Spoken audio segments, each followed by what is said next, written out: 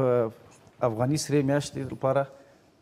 یوولس موټرونه او دوه کوچني لوی موټرونه دي په دغه تړاو تاسو کې څه وضاحت ورکړئ بسم الله الرحمن الرحیم تر هر څه د مخه تاسو ته او تاسو له لارې ټول هیوادوالو ته سلامونه او احترامات تقدیموم السلام علیکم ورحمت الله وبرکاتو علیکم السلام په دوهم قدم کې باید وایم چې افغاني سره میاشت یوه بشرپاله ټولنه ده چې د هېواد په کچه باندې خیریه کارونه ترسره کوي. د افغاني سرې میاشتې د رهبرۍ په هڅو باندې الحمدلله دا تیر درې کلونه ډیر ښه تیر شوي تر یو څه اندازه پورې د هیوادوالو اړمنو هیوادوالو هغو دردونو راکمولو ته یې لاسرسی پیدا کړی دی خو هغه څنګه چې مناسب ده په هغه شکل باندې ځکه نه دی شوی چې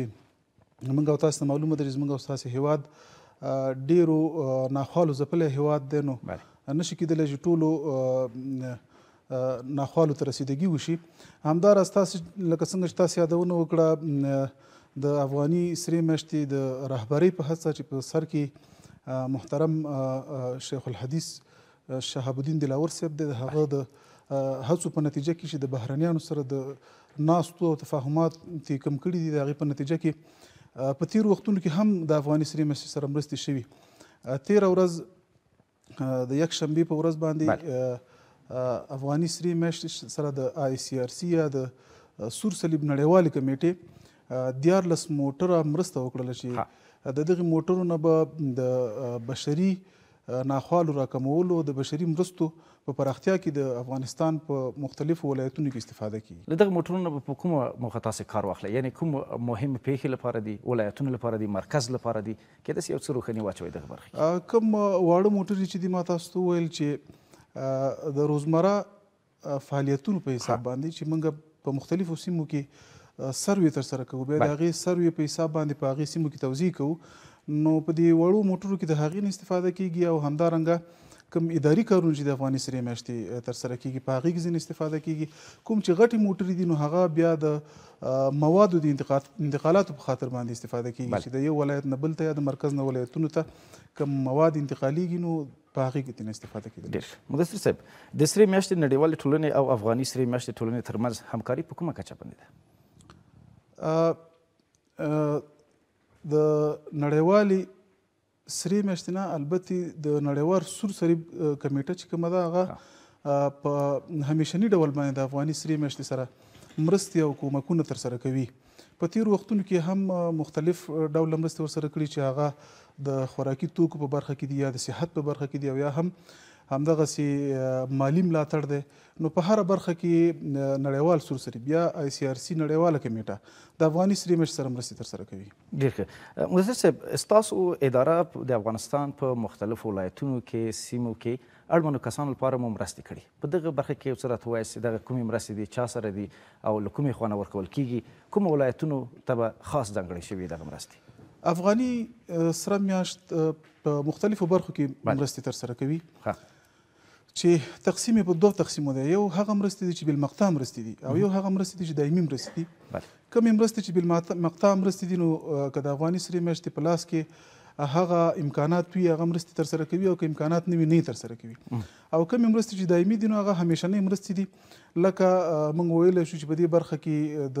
زړه سوري کوم ماشومان چې افغاني سره میاشتې علاج کوي دا هغه همیشنۍ مرسته ده چې د هیواد په کچه باندې د زړه پرنځ باندې سوري پرنځ باندې کوم اخته ماشومان دي هغه افغاني سره میاشتې مراجعه کوي او افغاني سره میاشت بیا هغوی ثبت نام کوي او په وړیا ډول د هغوی اپریشن ترسره کوي تداوی یې کوي همدارنګه افغاني سره میاشت د رواني ناروغانو لپاره په مختلفو ولایتونو او مرکز کې مرکزونه لري چې رواني ناروغان په هغې ځای کې تداوي کیږي او بیا خپلو کورونو ته لیږل کیږي او هلته ساتل کیږي هم همدارنګه افغاني سره میاشت هغه ماشومان چې هغوی اډوکی میکروبي شوی یو یا همداسې سوځیدلی وي چې هغه په هیواد دننه نه جوړیږي په کال کې دوه ځلې د المان هیواد نه ډاکټران راځي او هغه ماشومان له ځان سره بیایي او هلته یې تداوي کوي دوهم د پیښو په برخه کې هم افغاني سره میاشت د هیواد په کچه باندې مرستې کوي خو د افغاني سرې میاشتې ډیر تمرکز په هغو مرستو باندې دی چې کوم ځای کې خدای ناخواسته یو اضطراري حالت رامنځته شي یا یو دم سېلاب وشي یا هم زلزله وشي موږ او تاسې په تېرو وختونو کې ولیدل چې په بغلان کې سېلابونه راغله الحمدلله په بغلان کې چې کوم سېلابونه راغلي وو په هغې کې افغاني سرې میاشتې تر ټولو ډېرې مرستې وکړلې هلته نور نهادونه هم موجود وو داخلي او خارجي خو په کوم ځای کې چې هغه سخت حالت په هغې سختو حالتو کې افغاني سرې میاشتې هلته رسیدګي وکړه همدارنګه په پکتیا او پکتیکا کې زلزلې راغلي چې تر اوسه پورې په هغې سیمه کې د افغاني سرې مشتي خدمات جریان لري. کله چې داسې یوه پېښه وشي هغې ځای ته ډېر خلک متوجه شي خو په هغې لنډ وخت کې خلک بېرته صرف نظر شي د هغې ځای نه. افغاني سره میاشت الحمدلله په دغسې ځایونو کې تر اخري حده پورې د هغې اړمنو او دردمنو هېوادوالو سره ودرېږي تر څو پورې چې د دوی وس او توان وي هغوی ته مرستې رسوي. محترم مومند صاحب زه به داسې یادونه وکړم چې د پېښو په برخه کې او د صحت په برخه کې او په دغې نور برخو کې د دولت ارګانونه هم شته چې هغوی مسولیتونه لري دقیقا. خو هماغسې تقاضا د سرې میاشتې نه هم هېوادوال کوي البته دغسې نه ده افغاني سرې میاشتې هغه څه په نظر کې نیولي چې هغه ډېر ضرور ورته ښکاره شوي او ډېره اړتیا ورته ښکاره شوې که د حوادثو په برخه کې افغاني سره میاشت مرسته کوي نو هم ډېر کوشش په دې باندې کوي چې د اضطراري حالت لپاره یو څه داسې مواد له ځان سره وساتي چې په هغې وخت کې د هغوی په درد باندې دوا شي همدارنګه د صحت په برخه کې هم ما تاسو ته وویل چې د زړه په رند بالکل مننه مدثر صاحب د برخې ته به هم انشاءالله چې راسو که ارقامو ته سر ورښکاره کړو چې په دغه څوارلس سوه درېیم کال کې تاسو چې مختلفو برخو کې مرستې کړي آیا شمېر یې ویلی سي چې تاسو څومره کسانو سره به مرسته کړې وي په څوارلس سوه درېیم کال کې خو موږ ډېر شمېر مرستې کړي چې د هغې ارقام ویل به دلته ممکن ځکه نه وي چې بله. ډیر زیات ارقام دي نو هغه ارقام دقیق ویل مونږه څو وخت وړاندې د رسنیو په دفتر کې هغه ارقام ټول د رسنیو سره شریک کړي تاسو کولای شئ د هغې نه دقیق ارقام د ټول کال واخلئ همدارنګه زه به درته ووایم چې په تېره یوه میاشت کې چې مونږ کوم خدمات ترسره کړي د زړه سوري په برخه کې په تېره میاشت کې یو سلو او یا هغه ماشومان چې د زړه سوري ناروغي درلوده په هېواد دننه شفاخانو ته د افغاني سرې میاشتې له لورې معرفي شوي دي. کله چې دغه ماشومان معرفي شي، نو دا بیا په لنډ وخت کې تداوي کېږي او بېرته خپلو کورونو ته د صحت په جامو کې ستانه کېږي. همدارنګه څو ورځې وړاندې یعنې په همدغې میاشت کې پنځوسو هغه کونډو ته بې سرپرسته کونډو ته افغاني سرې میاشتې د حرفوي زده کړو د تکمیل نه وروسته د تقریبا د پنځه ویشت زرو په شاوخوا د قیمت لرونکو مواد چې هغه د خیاطۍ په برخه کې کوم توکي وو هغه ورته وسپارل شو همدارنګه په تیرو څو ورځو کې د همدې میاشت په جریان کې د تیرې میاشتې په جریان کې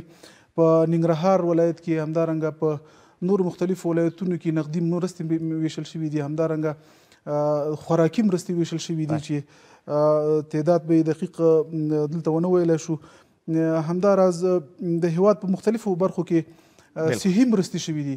چې موږ د هیواد په کچه باندې ثابت کلینیکونه هم لرو او فرعي کلینیکونه هم لرو همدارنګه سیار ټیمونه هم لرو چې هغه د هیواد لرو پرتو سیمو ته چې هلته اکثره وخت د صحي برخې ټیمونه نشي ورتللی چې هغې ځای کې خدمات ارائه کی خو افغاني سره میاشت الحمدلله هغه زیونو ته رسیدګي کړې ده ورغلې ده ډېر مننه خپل خدمات مرسي راځي چې یو بل برخه تر اوسه دا هم زخت زیات مهمه ده وای ټاکل شوی چې د سنبلې پر 24مه د افغاني سره میاشت ټولنې ځانګړي اونۍ پیل شي لدی اونۍ نه مطلب څه شي دی هر کال په دغه تاریخ باندې افغاني سره میاشت یو ځانګړي اونۍ لري بله تر دې مخکې چې د دې اونۍ په اړه باندې خبرې وکړو زه به په لنډ ډول د افغاني سرې میاشتې په عوایدو باندې خبره وکړم افغاني سره میاشت د دولت بودیجوي واحد نه دی چې د دولت نه بودیجه اخلي افغاني سره میاشت د خپلو املاکو له لارې همدارنګه د بهرنیو خیریه نهادونو بهرنیو ملي ټولنو د سرې میاشتو ټولنو څخه همداراز داخلي خیریه وګړو څخه په په داخل د هیواد کې د پاسپورت کوم خدمات چې د هغې یو فیصدي ورکول کیږي د ګمرکاتو نه دوی عواید راټولوي نو دغه هغه د عوایدو لارې دي د افغاني سرې میاشتې چې بیا همدغه مرستې بیرته په شفاف ډول باندې په ولس باندې توزیع کوي یو لاره د عوایدو هم زمونږ د افغاني سرې میاشتې ځانګړې اونۍ ده چې په ځانګړې اونۍ کې مونږ د ټول هیواد په کچه باندې هغه خیرپال حضرات چې دي هغه تجار هېوادوال چې دي بلکه ټول هېوادوال کولای شي چې موږ سره په دې خیر کې برخه واخلي یو سړی د لس روپۍ وسه کېږي موږ د ځانګړې اونۍ لپاره مخصوص ټیکټونه چاپ کړي چې د لسو نه ونیسه تر شلو افغانیو او همدارنګه پنځوسو افغانیو سلو افغانیو او تر پنځه سوه افغانیو پورې ټیکټونه نو یو غریب سړی کولی شي چې د دغه خیر کار کې برخه واخلي او دا هغه د خیر کار دی چې د هیواد په کچه موږ د سوري زړه ماشومانو علاج کوو که د دې هیوادوال دغه پیسې په دې کې مصرف شي نو پوره خیر ان شاء الله دې ته رسیږي دوهمه خبره دا ده چې موږ په خپل خپو باندې ودرېږو که چیرته موږ په خپل لاس باندې دغې سرې میاشتې سره مرسته وکړو موږ وینو چې په نورو هیوادونو کې افغاني سرې میاشتې دې مقام ته رسیدلي دي چې هغوی د نورو هیوادونو سره مرستې کوي نو که چیرته موږ د خپلې افغاني سرې میاشت ترڅنګ ودرېدو داسې ورځ راتلون راتلونکې ده چې افغاني سره میاشت به انشاءالله په آینده کې د نور هیوادونو سره مرستې کوي او د نور هیوادونو هغه بیوزلو خلکو ته لاسرسی به لري مرسیب عوایدو برخه کې مو تاسو خبرې وکړي تاسو له کومو لارو له هېوادوالو عاید راټولوئ؟ ما مخکې یادونه وکړه، یوه لاره خو یې هم همدا ده چې موږ ځانګړي اونۍ تخصیص کړې ده چې. یوازې په همدغې اونۍ کې به دوی کولی شي. په دغې اونۍ کې تر دېرشم تاریخه پورې موږ په ټول هېواد کې د ځانګړې اونۍ په نوم غونډې لرو، خو بیا د دې میاشتې تر اخره پورې کېدلی شي چې زموږ دغه ټکټونه چې کوم ټاپ چاپ کړي دي هیوادوال یې واخلي او د دې لارې نه د افغاني سرې میاشتې سره مرستې وکړي او بل هم هغه هیوادوال چې هغه په لویه سطح تجاران دي غټ غټ کاروبارونه لري هغوی همیشه راغلي دي زموږ سره مرسته کړې ده د سرې میاشتې مرکز ته مراجعه کوي هلته خپله مرسته بیا د دوی د رسنیو په وړاندې افغاني سرې میاشتې ته سپاري بل د افغاني سرې میاشتې جوړښت او سیستم داسې دی چې الحمدلله ډیر شفاف او ډیر پاک سیستم دی چې په دې کې هیڅ قسم فساد او درغلي ځای نه لري انشاءالله دا ټول کوم مرستې چې دي دا ډیر په شفاف ډول هیوادوالو ته رسیږي مننه مرسیب د هیوادوالو برخې څخه مو پوښتنه وکړه ډیر مننه چې ځواب راک اوس به راسو چې ستاسو خپله اداره دغه مهمه سرچینه له کومې لارې د شواید راټولوي ستاسو خپله اداره البته زمونږ خپله اداره ما تاسو ته مخکې وویل مخکې چې مونږ یادونه وکړه چې آی سي آر سي یا د سره صلیب نړیواله کمیټه هغه په نړیواله سطح باندې دا مسولیت لري چې په څومره هیوادونو کې سرې میاشتې دي او هغه اړتیاوې ولري هغه هیواد ډیر بی وزله هیواد وی نو هغه دا مسولیت لری چی د هغی سری میاشتی سره په تعاملاتو باندی البته چی زمونږ مشران الحمدلله په دی باندی قادر دی او زمونږ مشرانو هر وخت هڅه کړی د بهرنیانو سره ناستی کړی او هغوی دی ته قانع کړی چی افغانی سره میاشت دی ته اړتیا لری چی باید تاسی ورسره مرستی وکړی او په نړیواله سطح باندی ورسره مرستی ورته مرستی را جلب کړی نو هماغه مرستی دی چی افغانی سری میاشتی ته راځی وخت په وخت سره د قطر هېواد همدارنګه د سویدي هېواد سره میاشت یا هلال احمر د ترکیې هېواد سره میاشت هلال احمر دا د نورو هېوادونو سری میاشتې دي او یا هم خیریه ارګانونه دي وخت په وخت د افغاني سری میاشتې سره په مختلفو برخو کې مرستې کوي او هغه مرستې بیا د هېواد کونج کونج ته په ډیر شفاف ډول باندې رسیږي له راتګ څخه مو زښته زیاته خوشاله سوم زما خپله هم دا هیله وه چې باید له نږدې څخه تاسو سره خبرې اترې لرو. مدیر صاحب اوس تاسو خپل یو پیغام د ټولو هېوادوالو ته واوروئ چې ستاسو له ادارې له خوا څخه یې دوی ته البته. په اخره کې به زه همدا یو پیغام ټولو هېوادوالو ته ورکړم، البته یوه خبره چې مانه په خپلو خبرو کې پاتې شوله، د دغه خیر په کار کې باید زموږ ټول هېوادوال برخه واخلي او زموږ د دولت څومره کارمندان چې دي هغوی هم برخه واخلي. نو په دې ځانګړې اونۍ کې موږ د ټول دولت له کارمندانو نه دا غوښتنه هم کوو چې د خپلې یوې ورځې معاش هغه د افغاني سرې میاشتې لپاره خاص کړي چې هغه دومره شی نه کېږي د یوې ورځې معاش خو له کومو لاریو کولی شي هغه کولی شي چې د خپلې یوې ورځې معاش د خپلې ولایت یا د خپل مسولینو سره په همغږۍ ځکه چې هغوی په جریان کې دي د اکاونټ له لارې د افغاني سرې میاشتې اکاونټ ته ولیږي هغوی نو بیا د